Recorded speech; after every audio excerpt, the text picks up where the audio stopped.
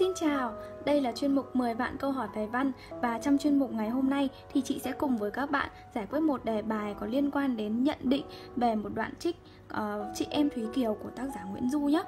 Cụ thể đề bài như sau. Nhận xét về chuyện Kiều của Nguyễn Du, tạp chí Tuổi Xanh có viết Nguyễn Du viết theo phép tắc có sẵn nhưng không sao chép hững hờ mà gửi vào câu chữ những tình cảm yêu mến, trân trọng của mình. Em hiểu nhận xét trên như thế nào và bằng những hiểu biết về đoạn trích chị em Thúy Kiều hãy làm sáng tỏ nhận xét này. À, đây là một dạng đề mà chúng ta cần phải chứng minh nhận định và chúng ta sẽ chứng minh nhận định đó dựa trên đoạn trích chị em Thúy Kiều dựa trên những kiến thức mà chúng ta học được về đoạn trích này. Vậy thì bài này chúng ta sẽ làm như thế nào? Chúng ta có những bước cơ bản như sau. Thứ nhất là chúng ta đều phải có đầy đủ 3 phần là mở bài, thân bài và kết bài. Chị sẽ đi cụ thể hơn vào phần thân bài nhé. Trong phần thân bài thì đây là dạng đề chứng minh nhận định, cho nên là trước tiên các em cần phải giải thích nhận định này đã.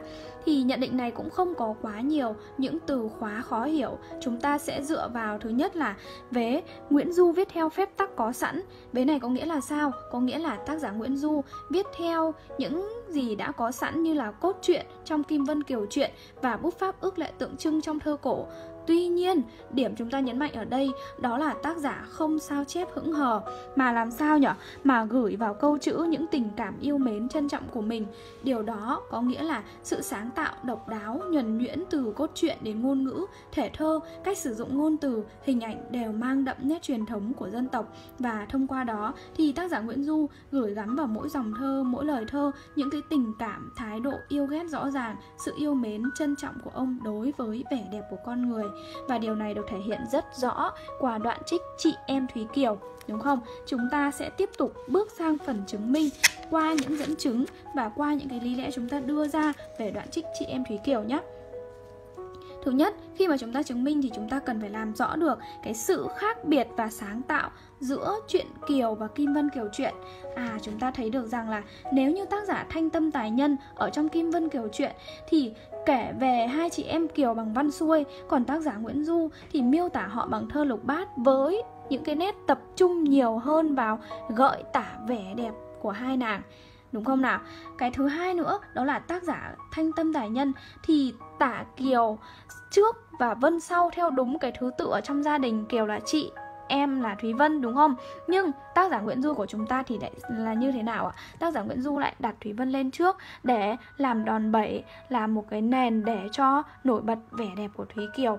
Hay bên cạnh đó thì chúng ta cũng thấy được rằng là trong Kim Vân Kiều truyện thì đây là một tác phẩm tự sự đơn thuần Nhưng trong tác phẩm truyện Kiều của chúng ta thì tác giả Nguyễn Du còn gửi gắm vào đó nhiều hơn cái tình cảm của mình. Đó là sự trân trọng về tài năng, về sắc đẹp của con người và đặc biệt là tư tưởng tài mệnh tương đố Là tư tưởng mà ông có những cái dự báo trước thông qua cái việc miêu tả nhan sắc và tài năng của nhân vật.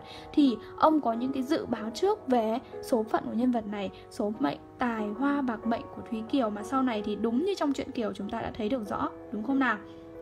Đó là ý chúng ta chứng minh đầu tiên Ý chúng ta chứng minh tiếp theo Đó là chúng ta phải làm rõ được bút pháp ước lệ Ở trong chị em Thúy Kiều Đây là một thủ pháp chính và tạo nên ấn tượng của đoạn trích. Đó là việc mà tác giả đã dùng những hình ảnh của thiên nhiên, những cái vẻ đẹp ở trong thiên nhiên để gợi tả vẻ đẹp của con người. Đó là hình ảnh của một thúy vân như thế nào ạ? Vân xem trang trọng khác vời, khuôn trăng đầy đặn, nét ngài nở nang, hoa cười ngọc thốt đoan trang, mây thua, nước tóc tuyết nhường màu da đúng không nào? Dùng những chi tiết của thiên nhiên, dùng những vẻ đẹp của thiên nhiên để gợi tả vẻ đẹp của con người. Còn với thúy kiều thì như thế nào nhỉ? Làn thu thủy nét xuân sơn à hoa ghen, thua thắm, liễu hờn, kém xanh đó đó là bút pháp ước lệ. Và một điểm đặc biệt nữa đó là bút pháp ước lệ đó thì đúng, đây là một bút pháp bút pháp truyền thống ở trong văn học trung đại.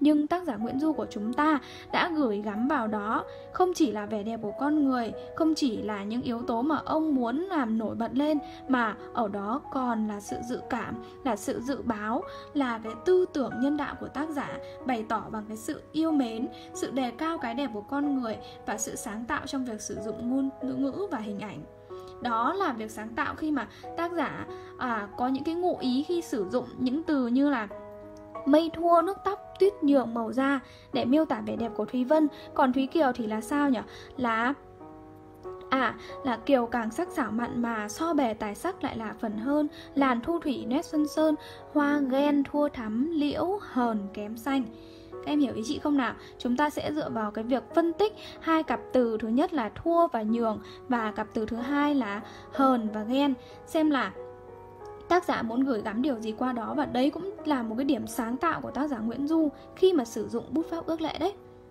và khi mà chúng ta chứng minh xong những ý đó thì cuối cùng chúng ta đánh giá về việc mà tác giả đã sáng tạo dựa trên những cái cốt lõi có sẵn.